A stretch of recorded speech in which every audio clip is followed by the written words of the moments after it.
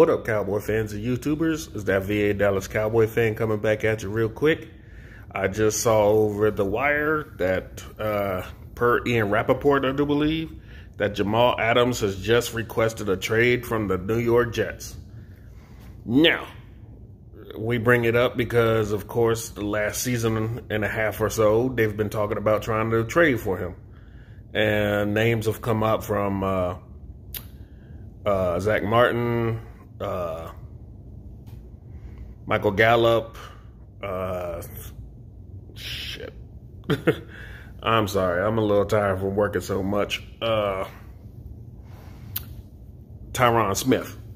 Uh, and what, a first, two firsts, a second, you know, some outrageous compensation to try and get this guy. But now that he's a disgruntled player, and the Jets are going to be forced to have him or hold out, uh, maybe the price comes down. Who knows? Maybe the Cowboys will swoop in finally and uh, pick him up.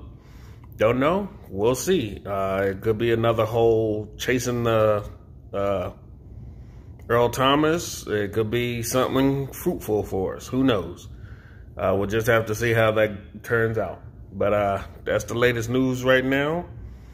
I hope you have a good day. Talk to y'all later. Peace.